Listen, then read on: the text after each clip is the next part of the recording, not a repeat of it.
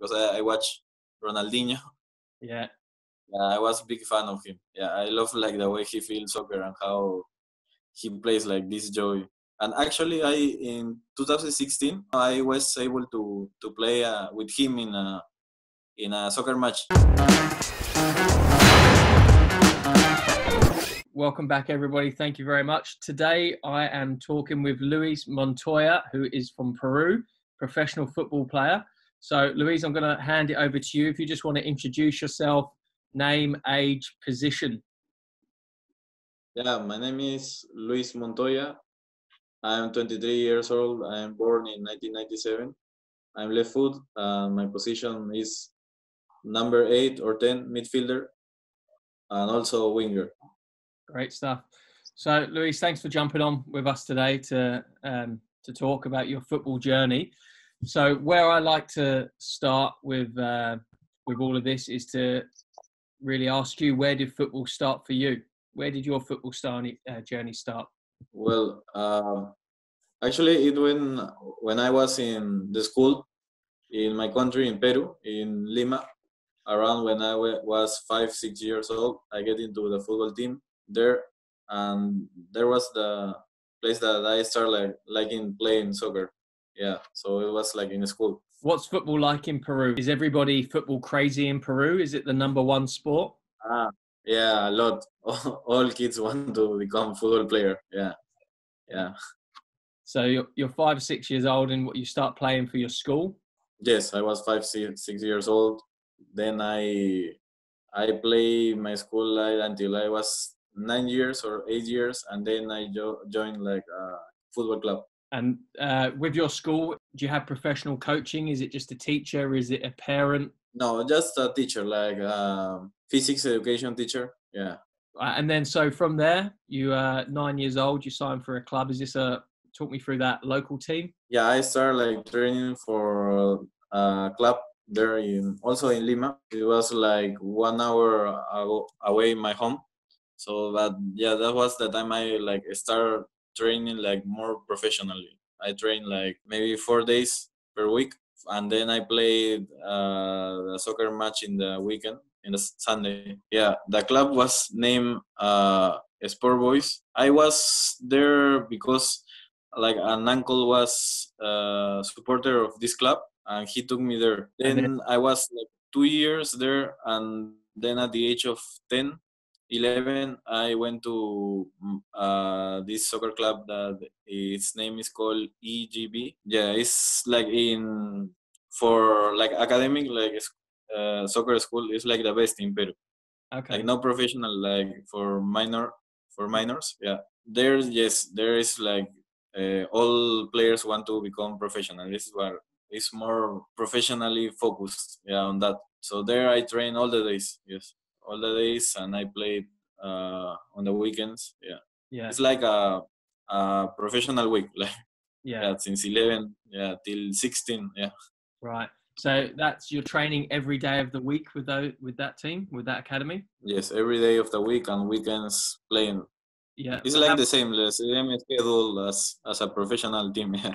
Yeah. Uh, how many hours would you train with that academy? Two hours, two hours half. This is close to home for you.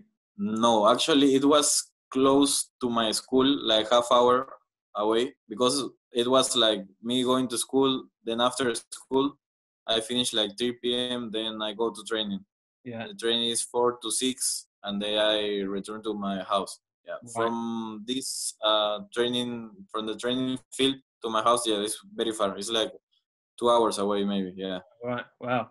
So was that your uncle taking you to there, or was that parents? Or was it yourself? Yeah, some sometime uh, my grandfather. Yeah.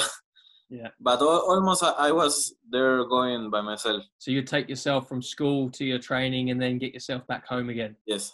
yes. Yeah, every day. That's commitment. Yeah, every day. Yeah. yeah. and then and then you still would you play outside of your academy? So would you still be you know messing around with your mates down the park in the street? Yeah. After that, yeah, yeah, yeah, yes, yes usually when I was like on vacations of my of my football club, yeah, I go like play soccer with my friends there near my neighborhood. Yeah. Hmm.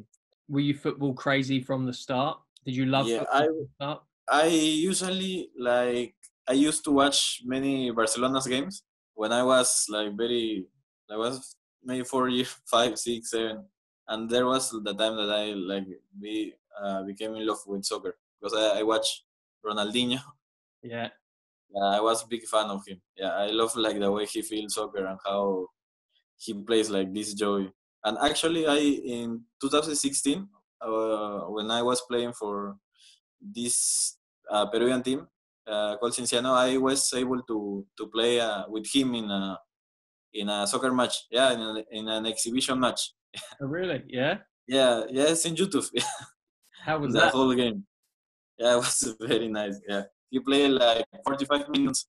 He came for playing like an exhibition match. Only one match. Yeah, an exhibition match. Yeah, in for this club Cienciano. We Yeah. play like in the same team. He Yeah. played half time of the match. Yeah, it was like amazing. Like, he did like a lot of stuff. Yeah. I bet he was still class. Eh? Was he still the best player on the park? Yeah, still he did a lot, like two assists without looking. Oh, It really? was really nice. yeah. Did you get his shirt? Yes. You did. Like I, I like the club gave us like three shirts, extra shirts, like for him to sing in, yeah. to sing the shirts. Yeah, Yeah, talk, he yeah. yeah. I those shirts I gave like to my family, and I kept like the one with the shirt which I played. Yeah, Yeah. with his sign also. Amazing. It was very nice. Yeah. Amazing. That would have been a great moment for you. So he he was your um your inspiration, your favorite player as a as a kid coming up. Yes. Yeah, yes, and- yes. yes. Would you say have you modelled the way you play around him? Do you play similar similar type of style? I try like play with his. Of course, I I try to like to copy his movements and of him same position. Yeah. Yeah, mate, that's uh, that's amazing. Not a lot of people could say that they've played with their idol. So Yeah, actually, yeah, it's an amazing that experience. Yeah. great experience. Yeah. So you're obviously you're nine years old. You go into this academy and you're there for a few years. How old were you when you realised that you wanted football to become, you know, you wanted to take football seriously and pursue it as a career? Maybe when I, uh, yeah, for sure, when I uh, start going to this academy that I told you that I went like all the days training, it was like 10, 10 years old. Yeah, I start like being this, like seeing football like as a as a career. Yeah. Right. You know, you're in this academy that is quite a professional setup by the sounds of it, and you've decided that this is what you want to pursue. Did you know what you had to do to try and become a professional? Did you know how hard it was going to be? What happened in your mind? What were you thinking? Of course, I thought that it will be like hard, but at that time I was just only thinking on enjoying like the game, the games, the trainings, and like all was like no no troubles, you know, because you know when it's like in this stage of like training when you are young, you only like focus on enjoying the game, right? It's Yeah. not when you go out like uh, the professional world, it's like you realize that it's more tough Yeah. it's more hard yeah And was there was there anyone there giving you some guidance? So whether it was in the academy or in your family or your circle of friends. yeah was there anyone- actually it was like one trainer there yeah that it was my first trainer in that uh, academy and he told me that if i focus i can like uh, reach being professional uh, soccer because he told me he is very experienced he trained like also another players you know uh, jefferson farfan and paolo guerrero he, he he's played like in PSV, in Doven and Schalke. Okay. Yeah. Zero four, yeah, yeah. He trained uh, these two players also when they were young. Yeah, so he told me that I have like potential, and, and if I focus, if I want, I can like become professional footballer. I still talk with him. Yeah, he we That's have a good relationship. Yeah, Yeah, that's great. he's, yeah, he's like a dad for me. yes. Mate, that's amazing to hear. I think there's, you know a lot of coaches probably don't realise the impact that they do have on on young kids and the messages that you're giving to these kids. You know, you hold Yeah. on to them for your whole life and your whole career, really. You know, So it really is important that you, and I think it's great that you had a good coach like that. Yes. Yeah. Actually, there were his words that like made me decide that I, I wanted to to become a professional footballer. Yeah. Have you ever told him that? Does he know? Not, not with the exact words, but uh, yeah, I always when we talk, like the times when we talk, I'm very like I say thank you so much for all your like your teaches that you give me, all the things that you teach me. Yeah, they they work for me like a lot. Yeah. And then, so It's how do, you, how do you, at that age, did you mix your kind of social life, you know, hanging out with friends and, um, I don't know, messing around with them with your football? Did football get in the way of that a lot? For me, it was like no sacrifice because I I love like doing going to training, playing. Yeah, and I also actually made a lot of, of friends in soccer. Yeah. Yeah, so it's not a sacrifice when you're chasing your dream, right? When it's something that you're passionate about. Yeah, of course, it's no sacrifice. Mm. Yeah. How did your friends see it though? Did your friends see it that way? Did they understand what you were trying to do, or did some of them not quite get what No, you were- chasing? actually, all were all were like all understand it well because also they always ask me like how Right. So, so how old are you when you leave that academy?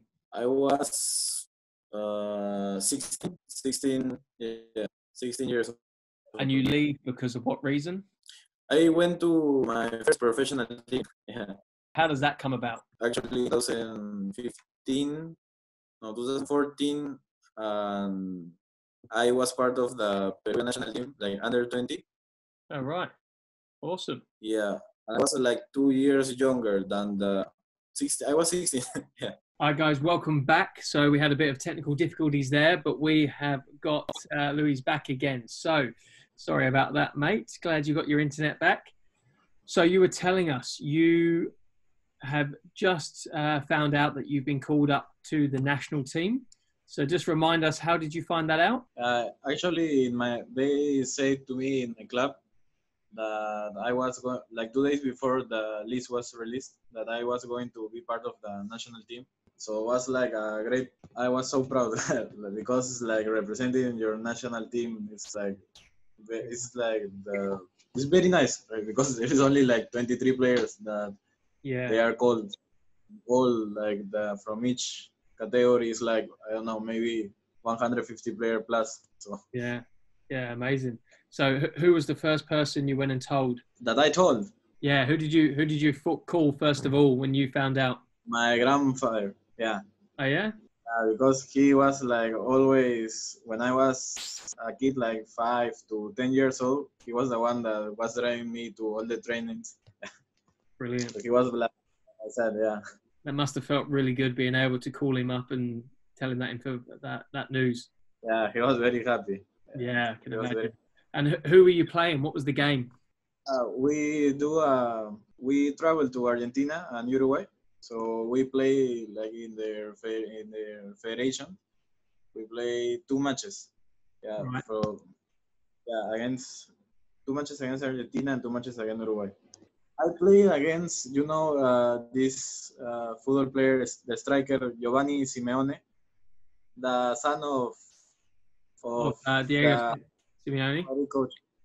Yeah, Yeah, really. play. He Yeah. scored like. Is he as good as his dad? Like he's a very, very good player. Yeah. Yeah. Brilliant. So, so uh, how did your game go? Did you tell us a bit about your your international? Did you make your debut? Yes, I played. I played like um, the last 30 minutes of the first match against Argentina. Mm-hmm. Uh, second match of our, against the we play also against Argentina. I play like from a start, uh, like 70 minutes. Yeah. Right. And, and what's that experience like? Does it is it different to what you were used to in your club level? Um, the you know the dressing room, the training, the coaches, the fans, like the nerves before the game. Is there a difference between your club?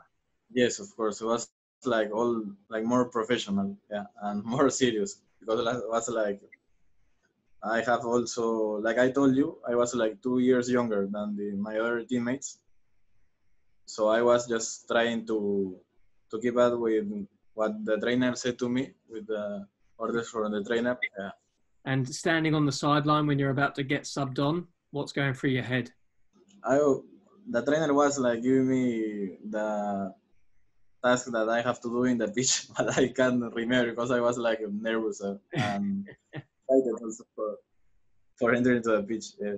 So, what happens when you get on the pitch? Did you were you straight in involved and got a touch early on, settled down the nerves, or did it take a while for you to uh, to get a touch of the ball? What happened? No, it was good actually. Yes, it was like ner- the nerves goes, and I was like only excited about that, those minutes playing, and I try to enjoy it the most. What happens next then? So you get called up for the national team. You make a couple of appearances there. Where where do you go next, or what team are you at next?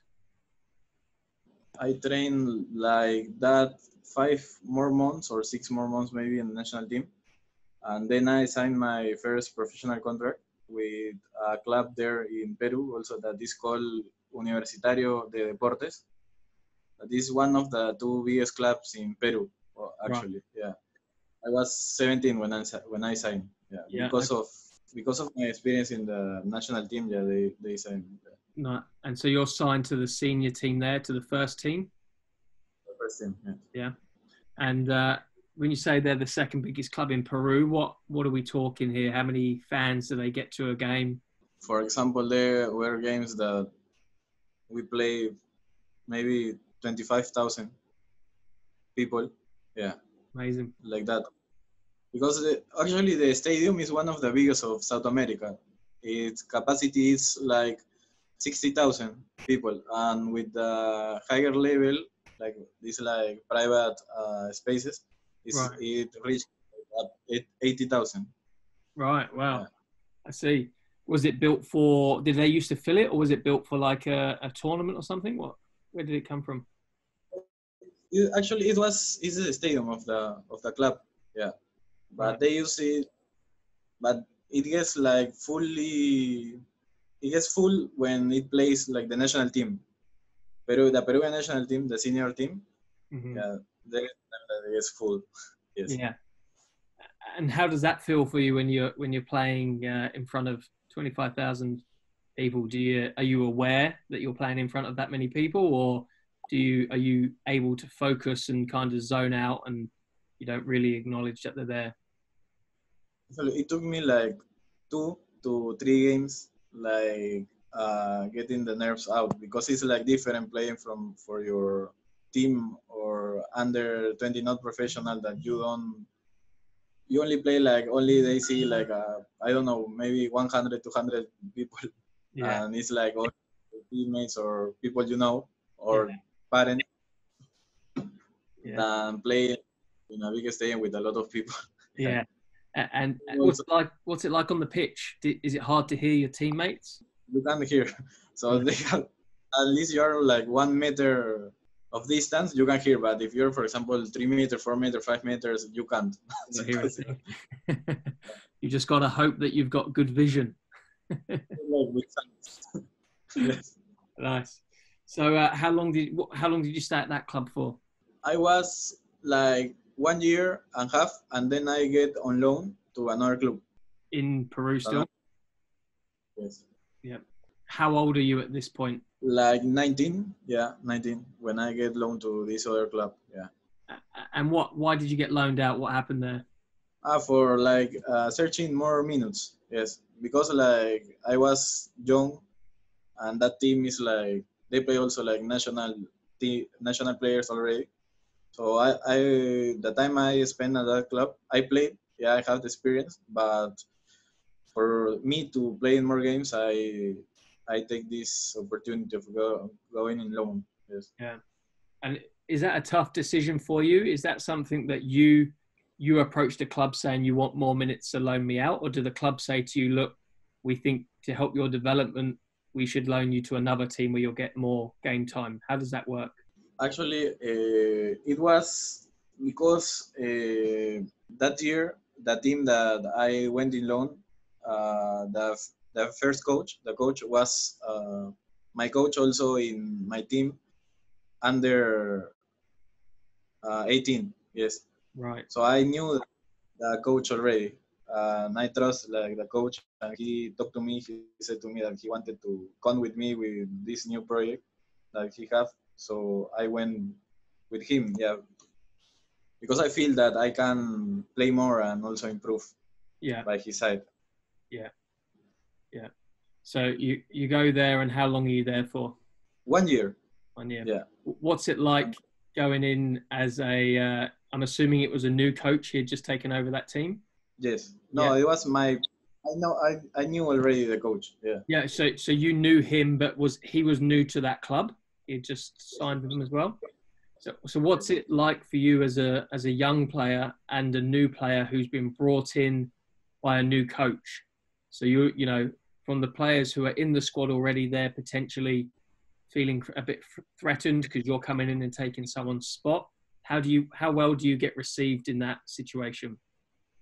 Actually, the, it was pretty good because there was like only five or six players that was from the previous season, and then it was like whole new team. Quite easy for you to settle in then. Yes, yes, because it's like it was like new team. Yeah, Yeah, sure. And did, did you get much time, much game time when you were there? yes, I play almost all the matches. Yeah. Brilliant. How did you play? Well, Yes. Also, it was uh, this club was uh, outside Lima. Yeah, outside the capital. right. And they're still in the top division. Like great history because it's the only Peruvian team that uh, win an international tournament. They win this uh, Copa Sudamericana Right. Yeah. against River Plate. Yeah. All right. So there's uh, some big history then. So does that mean they have a um, a bit of a big following? They get some good crowds. Also, but not so much as Universitario. But maybe people, the crowd of each game was 8,000 to 10,000. Yeah. Yeah. Still, that's a that's a fair few eyeballs on you. There's a bit of pressure. so, uh, so you stay there for how long? What what's next in your journey from there? I stay one season there. And you go from there to I go there to this club, also León de Huánuco, also outside Lima. right. So in in Peru, still in the same league. Yes. Yep. How how do you end up there?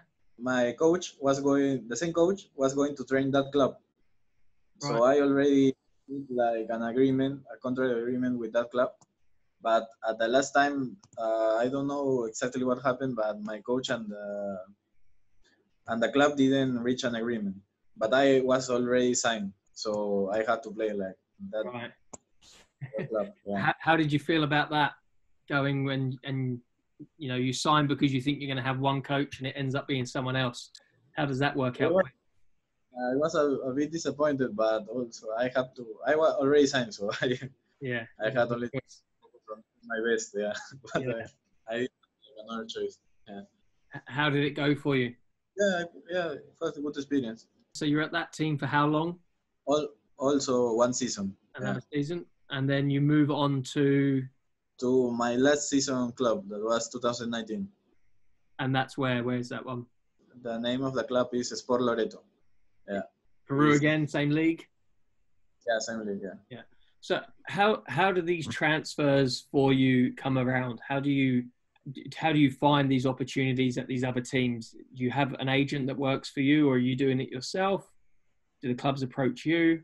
How does it materialize? I was doing by myself, but the two teams that I told you is Cienciano and León de Huánuco. I reached uh, because my coach, like my coach asked for me. Yeah. And then this last team, uh, I reached because uh, an agent actually he, he works with the club, so he proposed me to a club, and the club accepted me, and the, that's the reason I signed. So in in the first instance, the ones that you you off your own back, you were contacting the club to say, "Hey, I'm available. Are you looking for players?" Is that how that worked? No, like in the last season, uh, the agent that know me knew me since I was a player. Uh, he was working with this team, so the team asked him uh, for players Yeah. for for the yeah for that season, and he proposed to me to a club. Sure. Yeah. yeah.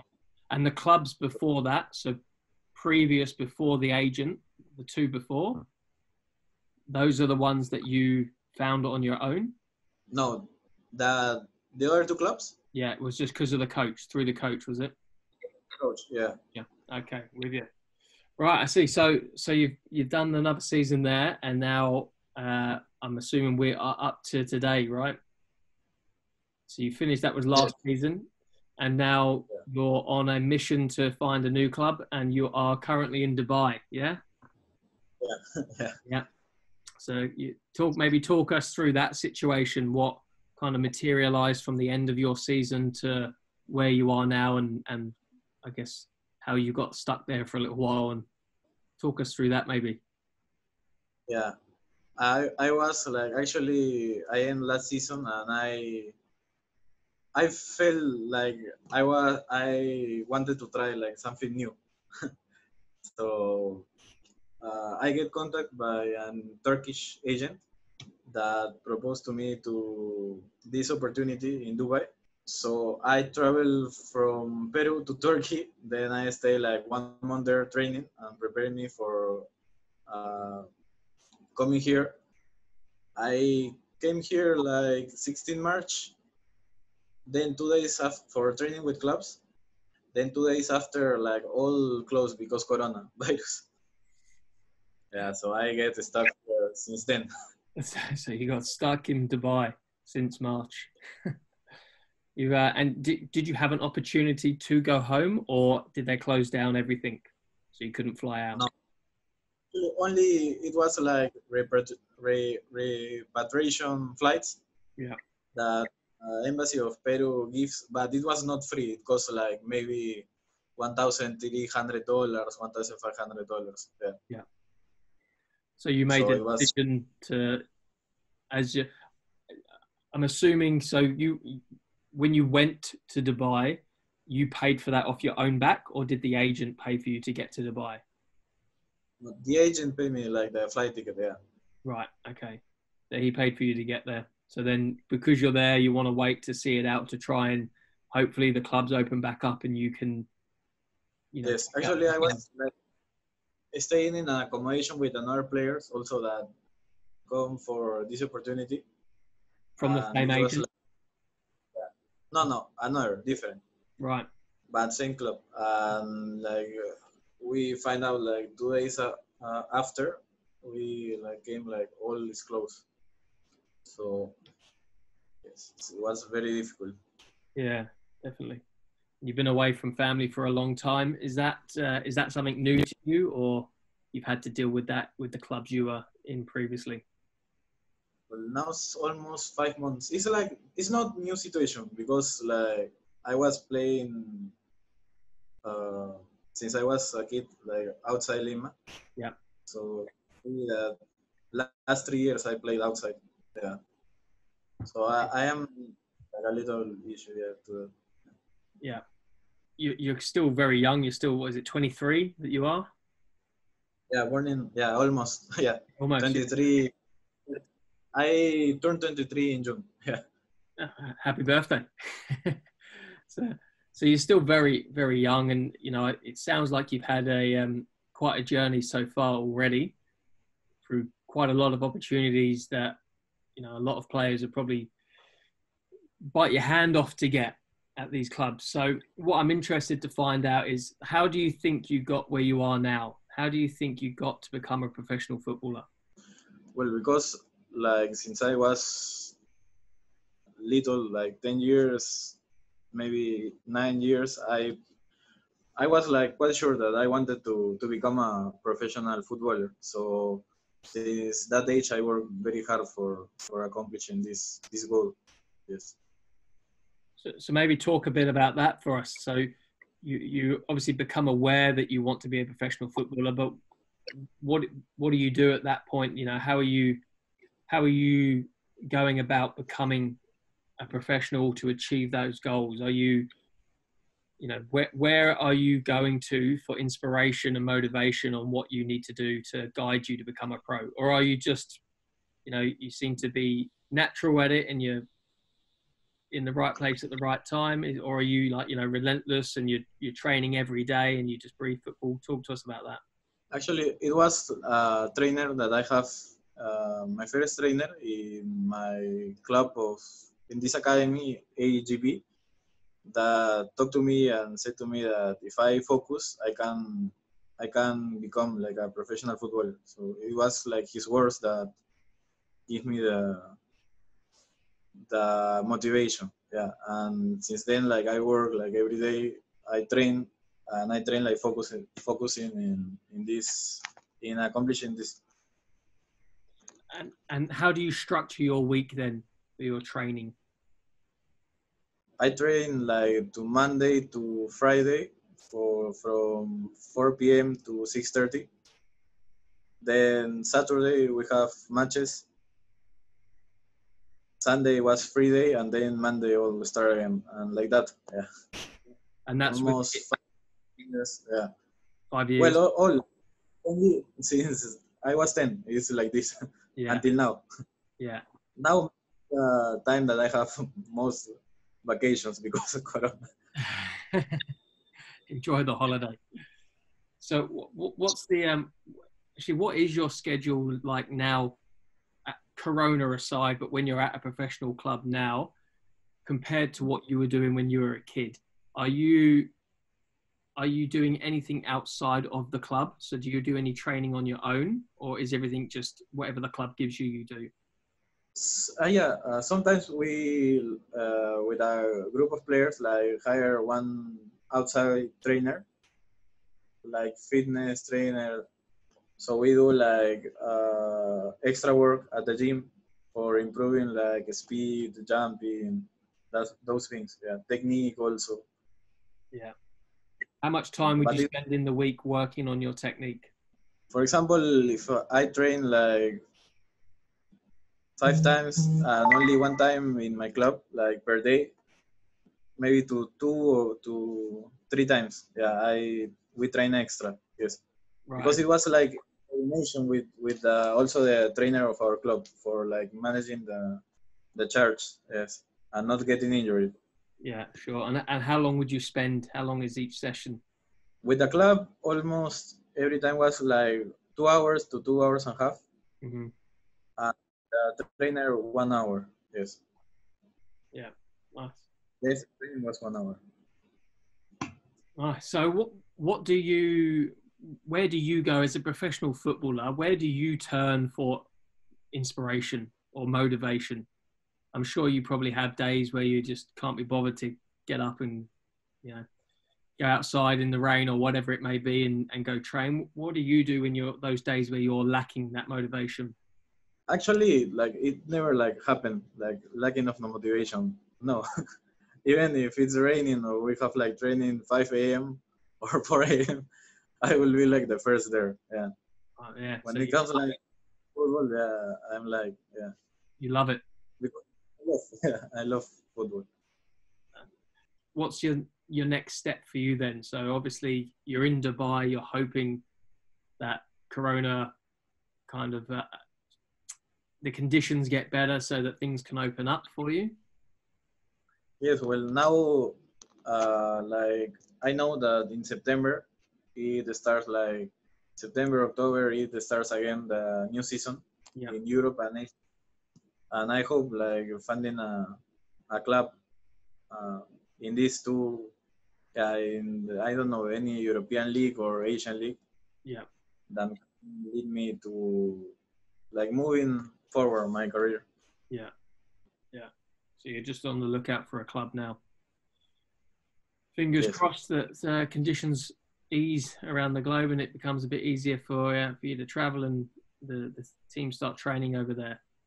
Um, one, one thing I've got, I do want to ask you for our, you know, the, the guys and girls that watch this, the younger players, what advice would you give to a younger player who is looking to follow, you know, in your footsteps and become a professional footballer? That always believe in your abilities in your football for all over the things. Have too much self-confidence. Work hard and follow your dreams. They should visualize like and do what it takes for reaching them. And also don't waste time on things that can like distract you or get you far off your objectives. Yeah and the most important is that enjoy every moment every every training every match that you have. Yeah you have to enjoy the journey yeah um, amazing that's true. I think and your prime example right where you're saying that you're the first one there at five in the morning and that's a testament because you truly love it. If you i think if you don't really love it uh, there's always going to be someone that's going to work harder than you. Because on those days where it's hard you're not going to be doing it you're not going to put in the effort but there's always going to be someone who does love it genuinely and they're going to be there working harder yeah of course even like you are so talented if you don't combine that with hard work it it will be never enough mm, have to be the two things yeah very true so you actually mentioned something there that was quite interesting. You said they need to visualize it. Do you practice visualization? Yeah, actually, I love like watching a lot of football games.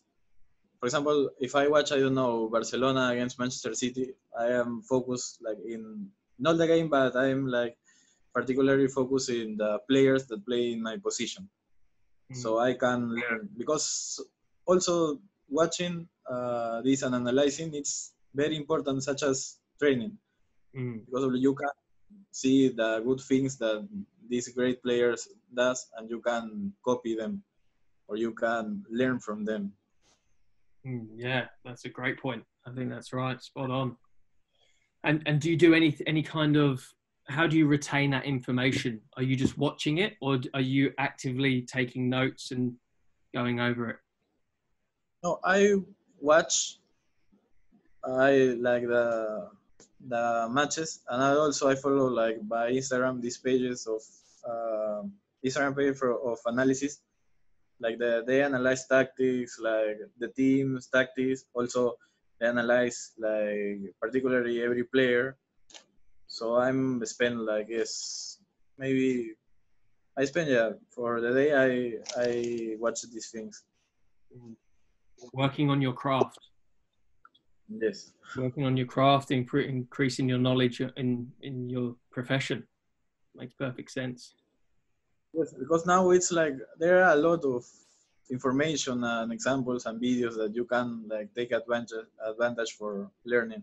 I don't know how to make a better control, a better shoot, a lot of things now. Yeah. Even uh, there are like videos of last day I saw a video of Xavi like, teaching another player how to, by his own words, uh, by his own like, he's like doing it, yeah. how to control the ball properly. Yeah. And he's talking so, to other professionals, or he's talking to young younger players. For example, player from 20 years, 19 years, there when he's in Qatar. Yeah, I also see what, for example, uh, the the talks of the trainers when they are in in the dressing room to, for example, of Zidane, I don't know, Bielsa, these yeah. players. Uh, you always learn. Yeah, you always learn something. Yeah. Well, yeah. you, learn a lot actually. I think that's an important point, right? They're working on the fundamentals, on the absolute basics, because if yeah. you get them down right, the rest of the game becomes easier for you because you know, of course, how to control a ball or how to shoot, but these players that are like the best in these things, uh, they all always add like something special. Mm-hmm. Yes, you you can take it. Yeah, good point. So, is there is there any one thing in particular that you would advise a younger player to focus on or to work on? Is there anything in particular that stands out to you? the only that they train hard and uh, they like to if they really want to become like professional footballers they have to all the day like think, think in football like play also when they get home if they can watch games for learning things is better uh, having a proper alimentation rest good yeah. habits yeah, because it's not only like training two hours a day and that's it no Mm. You have to take study, football. Yes. Yeah, so you're you're a 24 hour athlete. Yes. It, it's more than just what happens on the pitch. That's I think that's Also, your free, day. that's sorry again. also your free day. Yeah, you have to rest. Yeah, yeah, brilliant. So, I guess changing the tone a little bit. What would you say is your biggest regret in football? My biggest regret. Uh, maybe trusting in some people in the past that said me like they will help me and let me guide sometimes by them when they were like only looking for their own interests and because i was like too young i didn't like realize about it yeah was like so innocent that time Right, and, and are we talking kind of agents here? Are we talking coaches or just friends? Agents ma- mainly agents yeah. Because it's like hard like finding like an agent that actually cares about you. Yeah it's like really uh, uh, it's for them like it's all all about the money for the most not for everyone of course. Mm. because there are good that they care about the player. Yeah. What would you say if you could go back and tell your younger self something now about being aware about that? Is there something particular that you should check out with an agent? Like, is there, how do you find out if that agent is legitimate and actually cares about his players? What would you say to your younger self? analyze more like all the situations and like think uh, for myself what is best for me yeah, not what he told me or they told me yeah that's me Mm. Yeah. So do some uh, self analysis and do your own research and just don't don't just rely on what they're going to tell you. Yes. Like, no Okay. trust, like eyes. Yeah. You have to trust, but also you have to to check by yourself. Yeah. And mostly in football, you never know. Yeah, that's it. Do your own homework, right? Yeah. Yeah. So, I think I've just got uh, one more question for you, and uh, you kind of covered it already, but I just want to let's let's see if there's anything different that you might say. So, if you can go back now, and this is talking about anything, so not specifically about agents or anything like that, but if you could go back to your younger self and give yourself one bit of advice, what would that advice be? Yeah. Trust always in yourself.